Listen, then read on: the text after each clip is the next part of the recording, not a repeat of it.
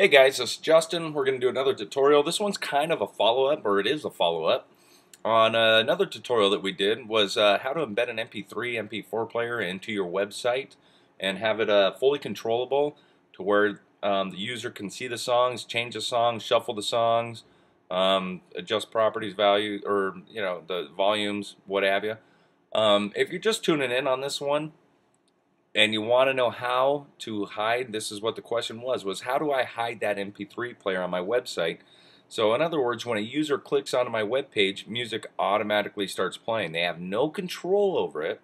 They can't adjust any of the properties, change songs, anything. It's just what they get is what you offer them onto the website. Now you can change it up according to your desired needs of what songs you want to play first, what have you.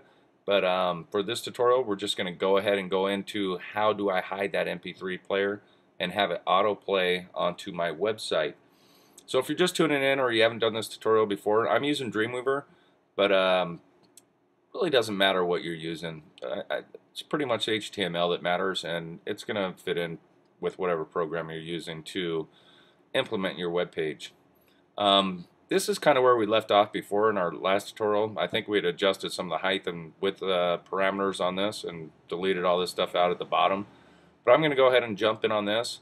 Um, we downloaded this from playlist.com and watched the other tutorial to uh, see how we did that. We just created a song list and embedded the HTML. So here we have uh, here we have our fully operational um, MP3 player, MP4 player from playlist.com. Everything works. Um, now we want to find out, hey, how can I hide this? So that's what we're going to do. Go ahead and pause this. Get out of it. Close that real quick. I'm going to get back into Dreamweaver. And the first thing that we need to do is if you look at the bottom of my screen down here, let me go ahead and uh, zoom in on that. If you look at the bottom, if I can zoom in, and I'm trying to figure out why it's not doing it. Oh, there we go. Gotta push the right button. You can see this. This is where we're at right now. But if I click onto this gray box, you can see that now I have something going on here. And then we come back down to the bottom in our page properties. Now you can see with the play button, you can see that we're inside of that player. So the first thing we're going to want to do, and this is the easy way of doing it without coding, is just click parameters. I'm going to back out now. Click parameters, come in, add a new parameter, and then down here we can go ahead and type in hidden under our parameter tab over to value, and under value we can type in true. I'll click OK. And you can see right here, nothing really happened right here. If we go into our code view, we can see that we added the parameter name equals hidden value equals true. And we did that all within inside of our player right here. So it's all done inside of our player. So if I highlight this player, you can see that there's our player and here's our parameter name hidden equals true. So that's another way of doing it, more the proper way.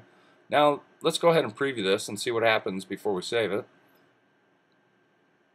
We're going to see our actual player is hidden, but we have this stuff down here, which I think we deleted in the previous tutorial, which I'll go ahead and show you how to do it right now.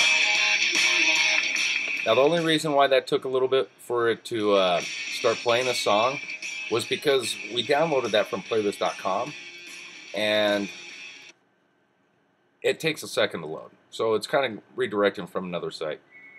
So let's go ahead and I'll show you real quick. And that's it for hiding it. Um, if you're good with that, you can go ahead and end this tutorial. If you're here and you've done the playlist and you want to see how to do this again, all you got to do is click, delete, click, delete, click, delete there's all your stuff. You can go up in the code and do it too. Um, then we're going to see that nothing's here. You can go ahead and type a little bit of text here. And down here I'll type some more text. I'm gonna get outside. Oh.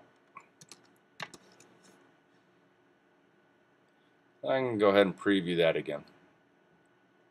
So we can preview it. So we got hello world.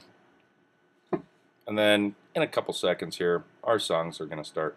So all in all, that's how you hide. Oh, I gotta take it off of mute. All in all, that's how you hide your MP3 player. And once again, the user has no control over what they're going to play, how they're going to do it, or anything else. That's just all up to you.